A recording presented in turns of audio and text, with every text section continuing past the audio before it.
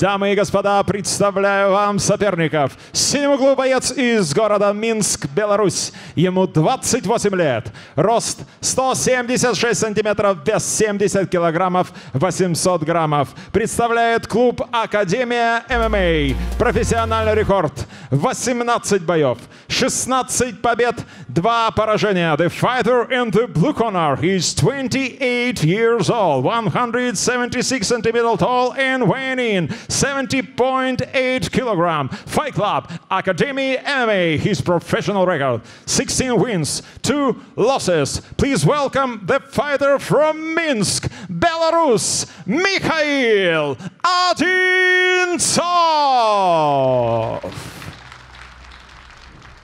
Его соперник в красном углу из России, город Новокузнецк. Ему 26 лет.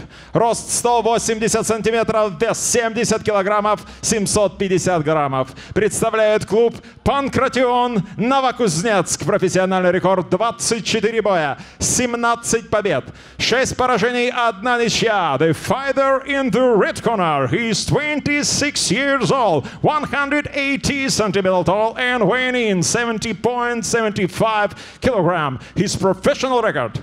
17 wins, 6 losses, 1 draw. Please welcome the fighter from Novokuznetsk, Russia, Svetoslav Shabanov. Referee, Mikhail Wachter, Germany.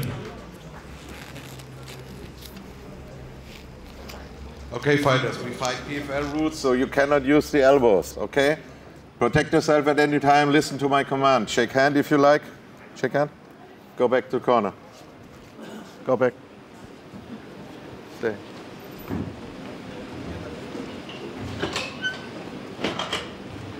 You ready? You ready? Let's go! А возраст, рост, вес бойцов только что был на ваших экранах. Давайте смотреть.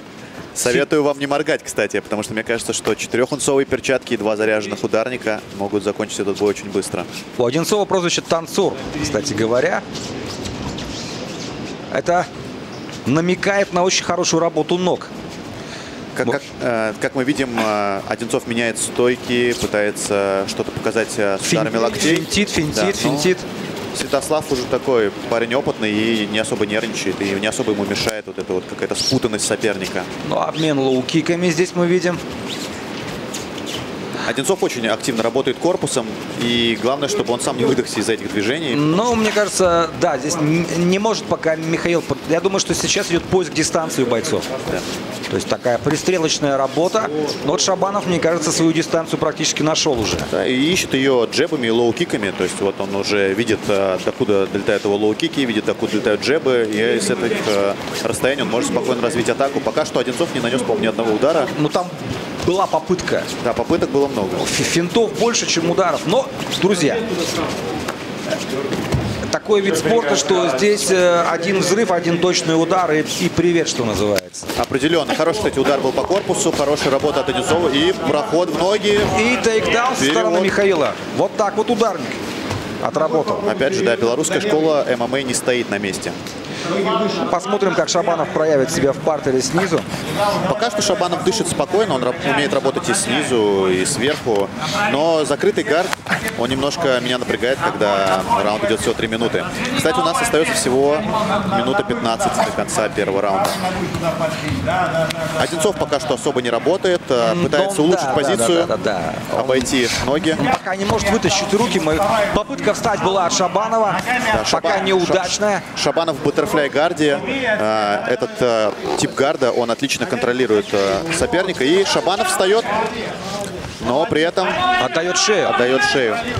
Так, а где удары по корпусу от Одинцова? Честно говоря, они здесь напрашиваются. Удары по корпусу, по бедрам. Поразбивать, поразбивать ступни. Даже удары плечами хорошие, которые продемонстрировал, вот, что пока сейчас э, Одинцов продемонстрировал недавно Конор Макгрегор. Э, Шибанов разрывает дистанцию и работает э, в комфортной себе сейчас стойке. Я думаю, что Святославу ближний бой вообще не нужен здесь. Вот хорошая работа с дистанцией, встречать фронт-киками соперника. Как ты отметил до этого, Вячеслав выступал не только в легком весе, и видно по его форме, и, собственно, то, что вышел на коротком удалении, борьба не для него, потому что чисто физические кондиции, я думаю, что у него хуже. А, Возможно, это учитывает и Михаил Одинцов. Мы видим опять тейкдаун в пользу Одинцова. И Попытка пройти гард, да. одну ногу. Но э, Святослав устанавливает гард и заканчивается раунд.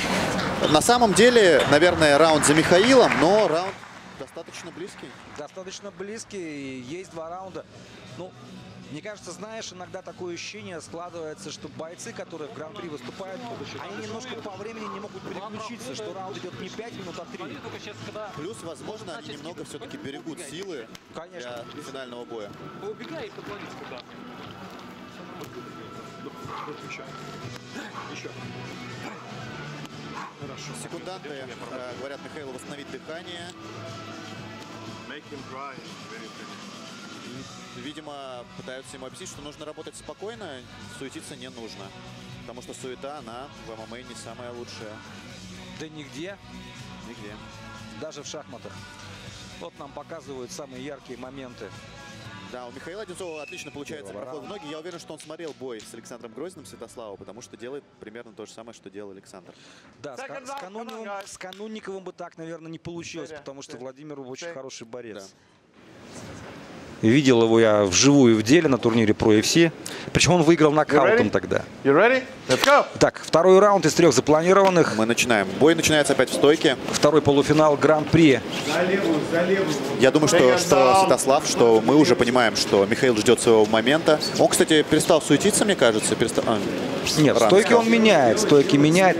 Ждет, ждет, я думаю, ждет Одинцов момента для того, чтобы пройти в ноги. Вот опять, смотри, И, да, проход. пропустил удар корпус, но красивый амплитудный бросок и опять хороший такой тейкдаун. Итак, уже смотри, в боковом контроле находится Один- Одинцов, а эта позиция предполагает вообще пространство для действия. Здесь можно, можно в разные варианты использовать. И Святослав хорошо встает, э, делает отличный свип, но отдает шею. Попытка гильотины. При этом рука Святослава э, под рукой Михаила, и попытка не получается, но близко было, близко. И опять же возвращаемся в ту позицию, с которой ушли, но Святослав восстанавливает хавгард. Тем не менее, Одинцов сверху.